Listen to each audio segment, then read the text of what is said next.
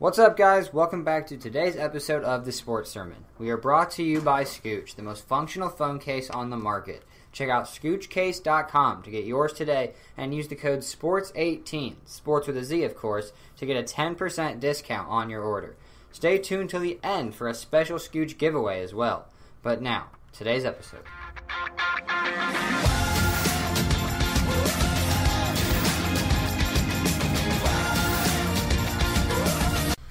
So we are back today to talk about the Brooklyn Nets. I am Jason Gandhi. I'm joined by Dylan Staggy. I mentioned this Scooch giveaway. Make sure you keep listening to hear about that at the end. I don't want to tell you now. I want to tell you after we can talk about the Brooklyn Nets a little bit. But let's get right into it. D'Angelo Russell and Rondae Hollis Jefferson will be eligible for extensions on their rookie contracts. Dylan, would you extend both, one, or neither of them? I think you've got to extend both of you the Brooklyn Nets. Those are your two best young talents. I would say that you want to extend Hollis Jefferson on probably a shorter deal, though, um, because I'm still not too sold on him as a solid contributing starter every night. I, I think he's a great role player, uh, but I, I think he's not going to be one of your core pieces to a championship team. I think with Russell, though, uh, you've got to re sign him to as long as you can. He continues uh, to develop, and I mean, he is your best young talent.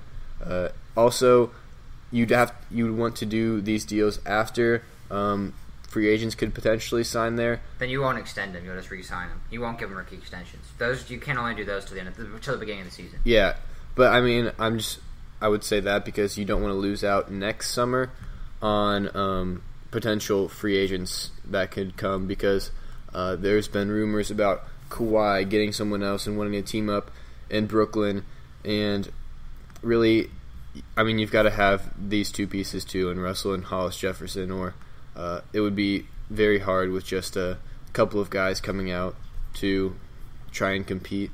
Yeah, so I think you want them all on your team. Yeah, so I said I wouldn't extend either of them, but I because I would wait until free agency, which you kind of hit on. They'll both be restricted free agents, so you have complete control over them. But the Nets have roughly sixty-five million dollars in cap space next season right now, so I would definitely try and go get two free agents. But either way, I have every intention of signing these guys. But definitely, I would not give them the rookie extensions because the extension on the rookie contracts because like you mentioned, you can wait, see if you get any guys to bite because you can always sign these guys over the cap. I would definitely give both of them not a max deal, obviously, but a good amount of money. I'd probably give D'Lo 15 to 18 million. I'd give Rondae Hollis Jefferson 10 to 12 probably. I think both are definitely worth it, and they're definitely both parts that need to be on this team. But wait, sign them over the cap once you get a guy like Jimmy Butler, hopefully, or you get a guy that's going to be in free agency next season. But you said you would extend them, but then you kind of went back and forth on that. Would you extend them before the season, or would you wait? Before this season? That's that's the rookie extensions. You can't extend contracts. Like you can't give them extensions on the rookie contracts once the season starts. Yeah, no, I, I would definitely wait because you you don't want to put yourself in a situation where you're not a free agent destination, especially yeah. since, um, I mean, they haven't had a lot of young talent to develop because of the draft picks they haven't had these past few years. Yeah, okay, I was just clarifying that. Okay, cool. Uh, let's keep going. The Nets have been very busy in revamping their bench this offseason. They take they take on a lot of expiring contracts, a lot of ma- made a lot of moves. Do you like the strategy the Nets are taking? Not really getting any stars or big pieces, just a lot of under the radar guys to hopefully fill in on that bench spot. Yeah, I mean, it definitely wouldn't have made too much sense to go out and try to acquire a star for these past uh, few years and even this year to uh, at least through trade. Um, I think it makes sense what they're doing. They need to prepare for cap space next summer to try and make a splash in free agency. Uh, if not, they can just keep taking on uh, these bad contracts and build their team through acquiring draft picks that way. Also, this year, they'll have their pick back, so that's a big thing for them.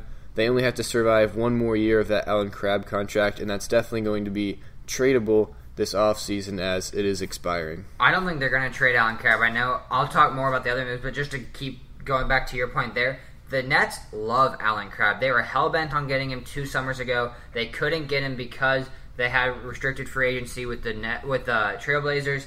Then they went and got that trade for him. They absolutely love Allen Crabbe and think he is an instrumental part to what they're doing.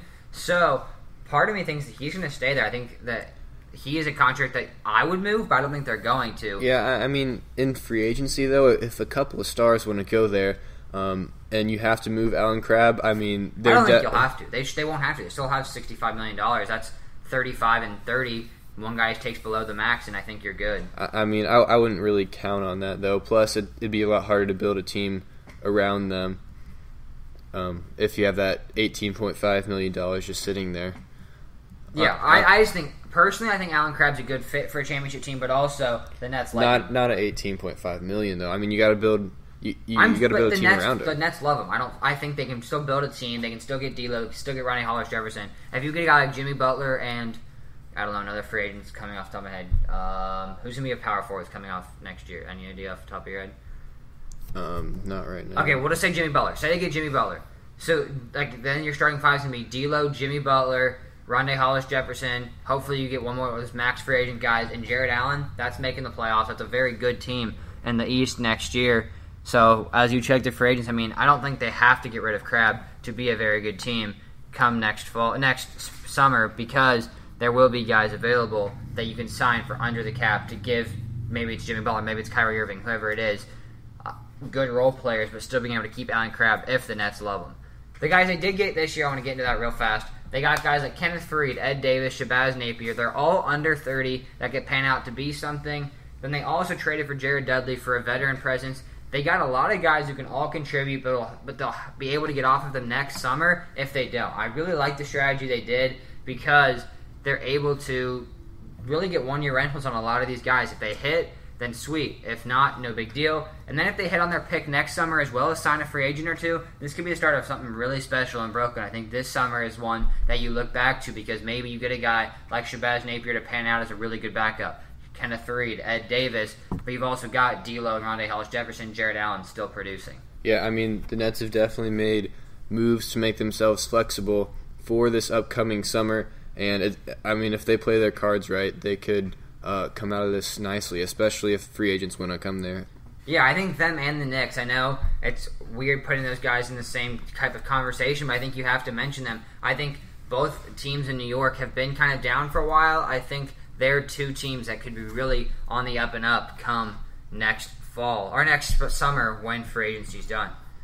Dylan, Brooklyn, like we said, has not been competitive. They're still looking for a face. Do they find that face this year? And what are your expectations for the Nets? I wouldn't say face, um, but I, I think D'Angelo Russell is a person on the roster that can become an integral part of a championship team or at least a contender. I think he's the only person on the roster that really can be. I, I think for this year, he is going to be the star, the guy that takes all the shots. But I, I really don't think he can be the only guy on a winning team. Uh, so this year, I would say I would put the Nets at 25 to 28 wins and get a fifth or sixth pick in the draft. Yeah, I also agree. I think that they're building a really good core of Rondae Hollis Jefferson, D'Angelo Russell, and Jarrett Allen. I think those three can be a really young core to build around. I see Russell and Allen being the focal point all season, while the Nets win probably only 28 to 32 games. They get their lottery pick. Next summer is just very crucial for them. And I think it's really all going to come down to how well next summer goes for them to see what is the future of this Brooklyn Nets franchise. hmm Yeah, any last thoughts on the Brooklyn Nets before we end it? Yeah, I mean, they've obviously been working from behind these past few years um, without their draft picks. Uh, but I mean, again, they have played their cards so that they have a ton of flexibility in 2019. Uh, that that summer, it's going to be a big one for the Nets. Definitely. So yeah, that's gonna end it. Uh, check out our YouTube page at or the Sportz Sermon. Check out our Twitter page at the Sportz Sermon.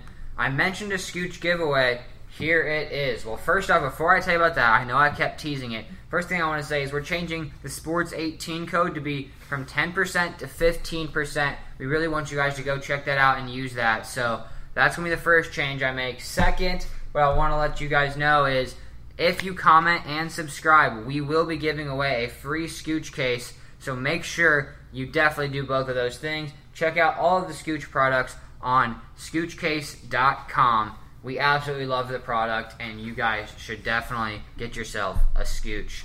That's all we have for today, so thank you for listening, and we will see you guys later. Check out college football, NFL, fantasy football, and more.